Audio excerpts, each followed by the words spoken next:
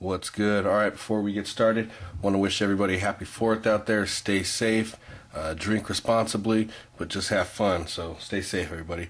All right, so we finally got the results in from our first ever nominees for the Legends Hall of Fame. Uh, as you guys know, I'm going to start this whole new Hall of Fame thing where I'll put four figures up versus each other, and you guys decide who makes it into the Hall of Fame. The other two, well, we'll see what happens next year. So, as you can see, the winners are Sentinel and Deadpool. Uh, Sentinel took the top spot by one point, so know it was real close all the way through. Iron Man didn't favor so well, but everybody else was real close. These two were in one point of each other, so got to thank everybody who uh, contribute, put their vote in. So I mean, this is cool because um, this is what the community chose um, for Hall of Fame.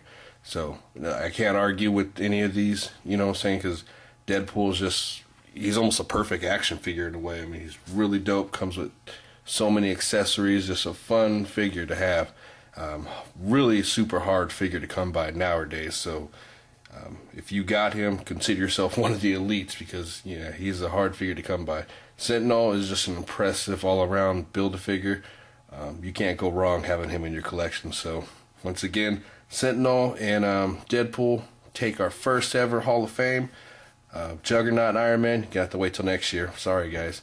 So let me guys, let me know if you guys want to um, add um, the classics in here as well, like the X Men classic or Spider Man classic. So some of these guys are truly sick. So if you want to add those in with the legends or just keep it just legends, um, it's it's all good to me. Just let me guys let me know what you guys want. All right, peace.